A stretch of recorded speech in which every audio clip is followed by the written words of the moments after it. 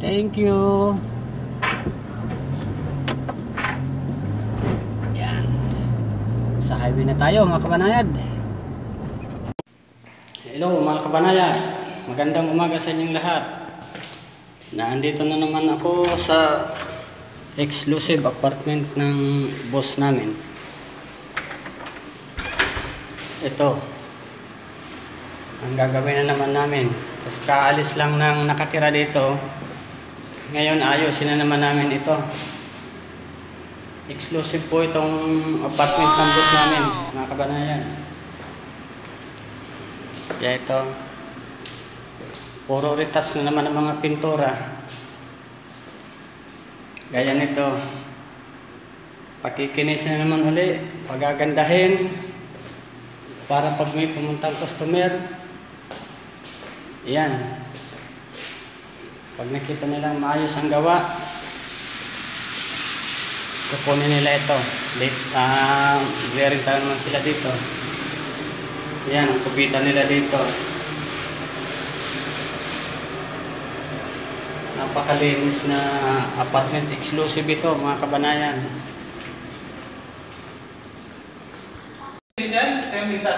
Mm. Yan ang kusina nila dito. Exclusive na apartment ng boss namin. Yan. Mahal ang renta siguro dito. Hindi ko alam ang renta dito kung magkano. Basta kami, pag umalis, ayusin namin uli. Para pag may lumipat, yung iba kong kasama, hiwalay-hiwalay kami ngayon mga kabanayan. Isa lang ang tao dito. Tapos yung iba nasa opisina. Naglilinis. Yan ang staircase nila. Nasa third floor ako. Ngayon, alis ako dito at pupunta ako sa beach resorts. Kasi meron pagagawa doon. Baka, ewan ko lang kung anong oras ako matapos doon. Pagtapos ko doon, punta ko yung isang tao doon. Titingnan ko ulit yung ginagawa nila doon. Yan naman ang parking area nila. Sa baba, sa ground floor. Yan. Ayun. Punta ako saglit sa beach resort. Tingnan ko anong gagawin doon. Yeah. Kabanayad, alis muna ako. Punta ako ng resorts. Ah, ako lang mag-isa pupunta doon. Kasi lahat kami busy. Pagka malapit na talaga ang holiday pinagaganda namin yung mga dapat ayusin ayan punta tayo sa beach resorts.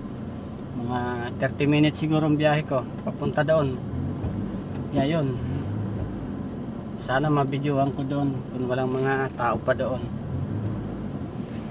Ayan samahan nyo ko doon mga kabanayad. Malapit na tayo mga kabanayad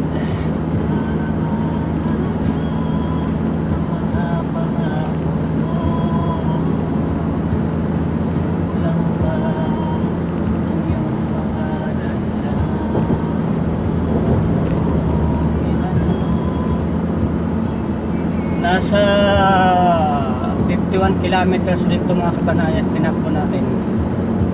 Malayo-layo din. Pero kahit malayo saglit lang kasi tuloy-tuloy man ang biyahe natin. Maluwag ang daan. Walang traffic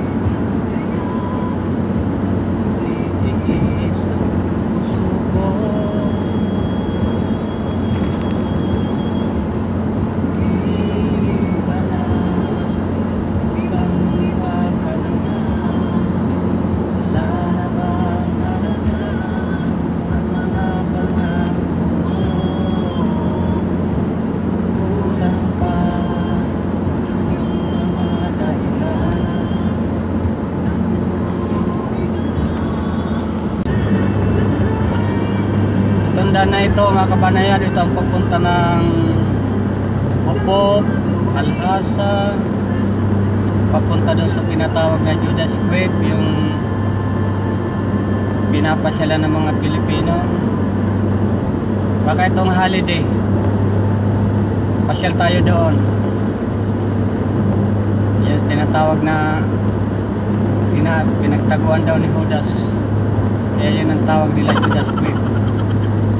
Yun ang sabi-sabi nila. Dinadayo yun.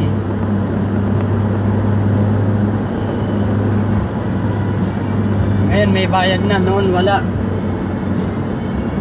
Pero maganda naman nung may bayad na, maganda na pumasok. Safety. Nakikita nyo doon ang mga bundok na yun talagang mapapansin mong lubog ang mundo.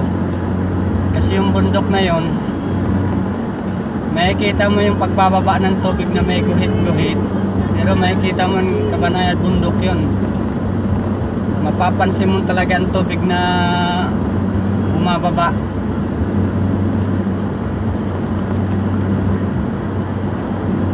yun yung talagang baha ng gusto. Pinalubog ng tubig ang mundo. Kaya pasyalan natin yun sa holiday. Pakita namin sa inyo ang Alhasa Pokok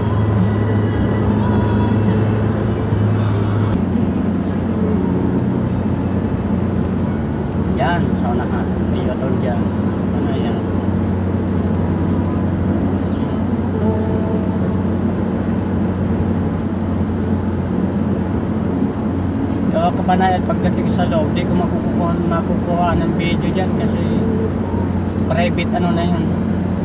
Sa loob ng bilya. Sa loob mismo ng bahay. Hindi na natin pwedeng kuha ng video yan. Kasi ano na yan, private yan. Hindi na tayo pwedeng makukuha ng video sa loob. Kaya hanggang sa pagpasok lang natin.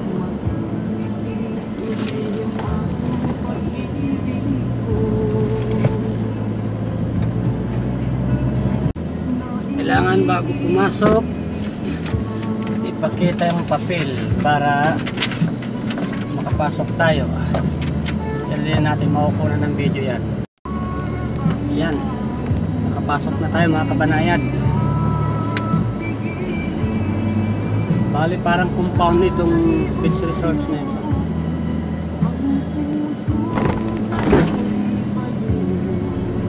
May mga numero may ganun.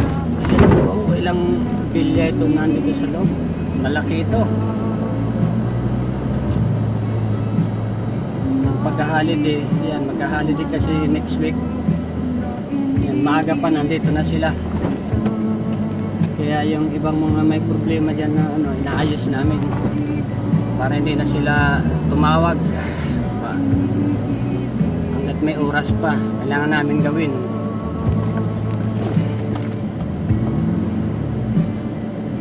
Tayo sa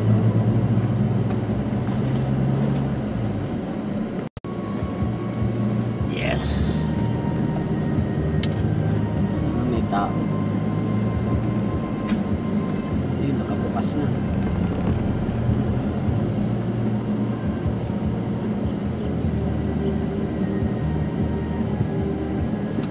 Dito na lang siguro sa labas ng parking.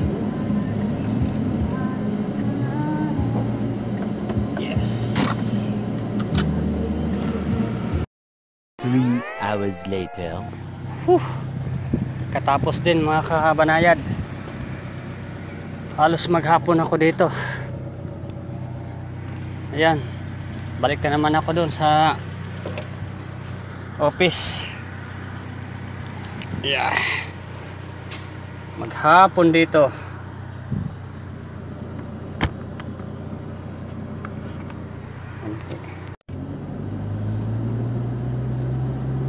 Palabas na ng compound mga kabanayad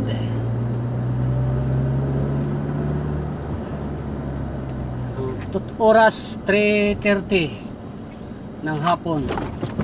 Karating ako nito sa bahay. Anong oras na?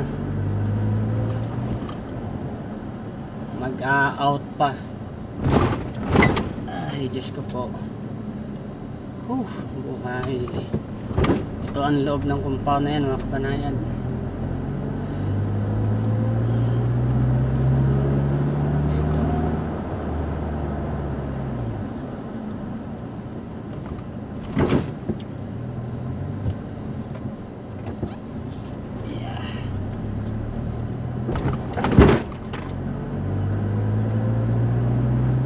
Yan, may security dyan. Yan, labas na kami, labas na.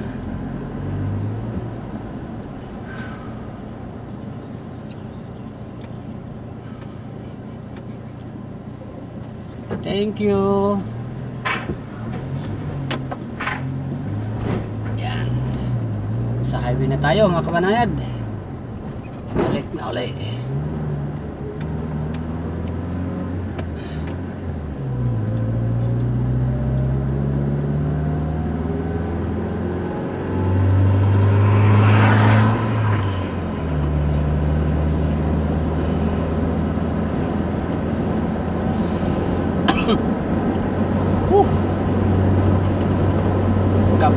Kapsa, pinakain, masarap. Luto ng mga katulong mga Pilipino. Kapsa na manok, ang halo. Napakasarap.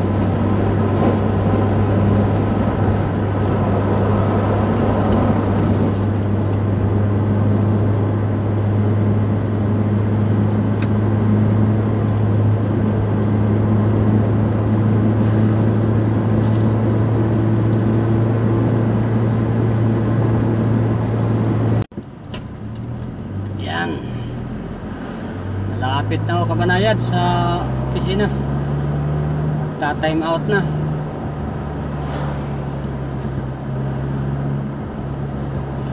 Whew. Haba ng biyahe. Hindi ko may record lahat. Umiinit ang cellphone. Nagsha-shutdown. Yeah. Okay lang siguro kung taglamig.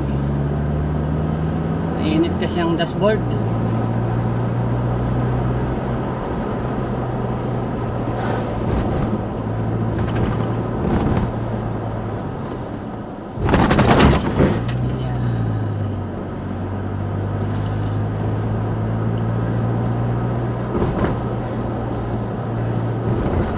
Na yung kasama ko, sabay ako sa kanila pa.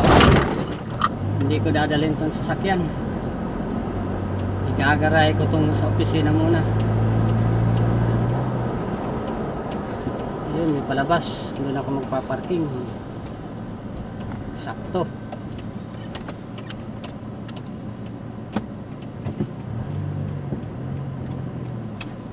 Yap.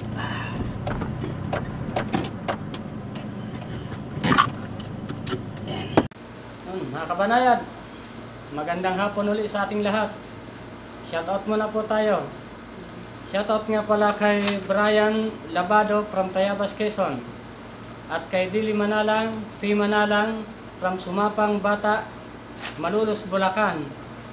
At kay Lucy Miduranda, Janet Rota ng Damam. Maraming salamat sa inyong panunood.